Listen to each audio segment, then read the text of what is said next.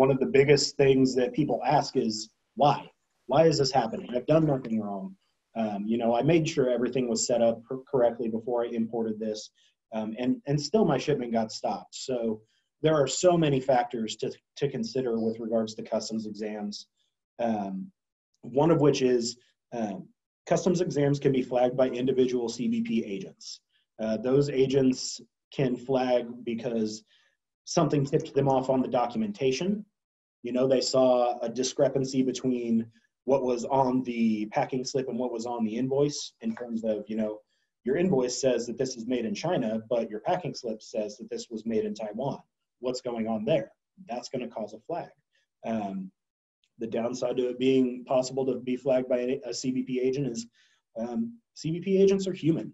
Uh, sometimes they're in bad moods.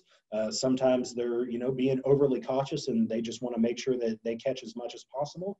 Um, and, you know, on the wrong day, you get caught by the wrong CBP agent. Uh, there is that human factor. We're not going to deny that. It would be silly to do that. Um, but it is something that we've seen and um, we've called CBP agents. And I, I will tell you that if you call a CBP agent and you ask them why they're why they flagged a shipment for exam, I'm not sure there's a force on earth that can get an answer out of them. No. Um, because, like I said, to them, this is a matter of national security. Um, all you need to know is that something made them want to examine this container, and they will let you know when they are good and ready. And they're fully within their rights to do so. They will let you know that too. Um, that they, um, uh, they're the ones that have the intuition um, when they see paperwork, when they um, see manifests, when they see ISF filings to decide whether any of that triggers. And so there is that human factor. Yep. So um, that's one of the things to consider. another thing to consider is the destination port. Um, much like uh, certain other parts of Customs and Border Protection, uh, such as you know how often they issue ISF penalties, destination ports have the authority to flag things for exam. Um, and if you bring something to a destination port that is different from a port that you've brought in in the past, let's say you've always brought in one product, you've always brought it in through the same port, it's always gone to the same destination. Uh, let's say you always brought it to Kansas City, suddenly you're switching all of your product and now it's all going to Chicago. That is a red flag for customs. They want to know why you suddenly switched destination ports. It could be as simple as my main customer base switched to, you know, the northern part of the Midwest, and now Chicago makes more sense. Uh, it could be something like, you know, I uh, suddenly found that my ocean freight rate to Chicago was so much better, so I'm just going to bring it there. All customs sees is that you've made a massive change to your supply chain, and they want to make sure that everything is staying above board. So you may see increased exams if you've predominantly use one single port and you've switched that. Um, another big thing is specific commodities. This is honestly probably the biggest one um, behind maybe country of origin. Um, specific commodities are definitely going to be one of the factors considered with regards to exams. Um, if you're bringing in something that is food grade, if you're bringing in firearms, if you're bringing in something that is you know, toys for kids. Those are things that most likely are going to raise more red flags for customs because they want to make sure that those things are safe for the people of the United States. Um, you know, CPSC is going to want to see toys more often than, you know, they're just going to look at, uh, well, CPSC only regulates so many things, but uh, you're, you're only going to see them flag certain items because those are things that they want to make sure um, come into the United States and are safe for the people using them. Uh, Specific commodities are targets, mm-hmm.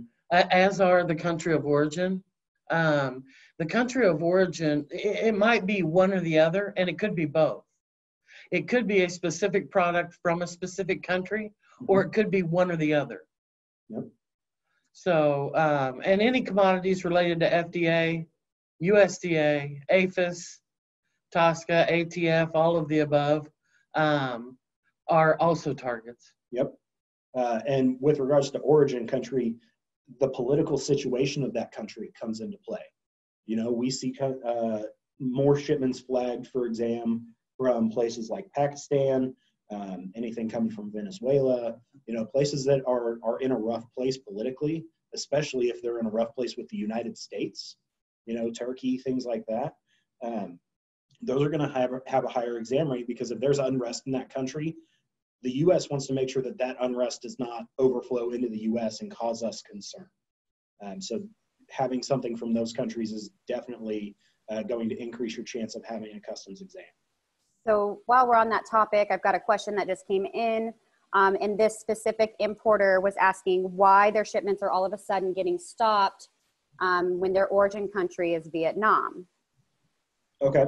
Um, right now, the reason that those are most likely being stopped is because of the Section 301 tariffs. Um, because after the uh, the implementation of Section 301, which for any of you who don't know is the um, it's the additional tariffs, either 25% or 15%, soon to drop down to 7.5% um, on almost everything out of China at this point. Uh, very few items out of China don't have Section 301 tariffs. That was uh, started as an intellectual property issue. Um, I think it maybe expanded to more of a political thing, but that's you know a personal viewpoint. Um, and at this point, what we're seeing is one honest and one dishonest practice. Uh, the honest practice is people are finding ways to get suppliers who are based in other countries that are nearby for the same commodities. So Vietnam is one of those places. Um, people who manufactured things in China previously are moving their manufacturing suppliers, well, not moving their suppliers, some of them are, um, but finding other sourcing in other countries nearby, such as Vietnam or Thai, Thailand or Taiwan, things like that. Um, and what customs wants to make sure is not happening is the dishonest thing that I was referencing. And that's the fact that some people are just using, they're making it in China and then they're shipping it to Vietnam, Taiwan, whatever, and then claiming that that's the country of origin. That is why customs is flagging more things out of Vietnam recently, especially um, because they want to make sure that that commodity was actually made in Vietnam. And then it's not just a situation where the factory was in China, they shipped it to Vietnam, and then the shipping address is what's being used for the country of origin. So they're going, I won't call it a little overzealous because it's completely fair to double check.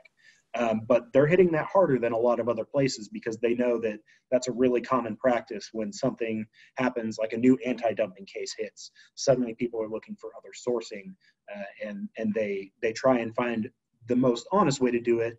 But unfortunately, like I said earlier, everybody's human, and, and some people uh, are not always interested in doing the honest thing. They just want to avoid paying the duties, um, and that's what ends up happening is something dishonest happens and someone starts claiming country of origin Vietnam when really it was just shipped through there. Excellent. Let's keep going. All right. So uh, another thing to mention is the change in tariff number, um, which is again another thing that's been really common recently with Section 301. Uh, having these additional duties of 25% on some items is causing a lot of people to really take a close look at um, you know their their tariffs and make sure that they're classified correctly. We at Scarbrough are always going to tell you paying more for the right tariff is the better way to go because in the end that's going to cost you a lot more a lot less money than customs coming after you because you were misclassifying something to dodge an additional 3% in tariffs. And they will come after you hard for that. They will. If they get an inkling that that's going on, you could expect a 100% exam hundred percent of the time. Yep. So. Um, I mean, one specific example is we've got a client that's been with us for 15, 20 years, uh, since long before my time here. Um, they brought in a new compliance person, and that compliance person saw that there were some things that they were not doing right, and they did a complete overhaul of their database. We had upwards of 240,000 parts in our database and we wiped all of that clean because they wanted to make sure that they were uh, getting the right tariffs in there. And what that led to was they did have some exams for a while because they suddenly uh, started seeing more exams because they saw a whole bunch of different tariffs. So that's something to keep in mind. Um, there's also certain things like random checks because just like at the airport, some people randomly get selected for an exam. That's just part of the process. Uh, Random checks are um, more popular at the border too. Um, but the random check could be computer generated.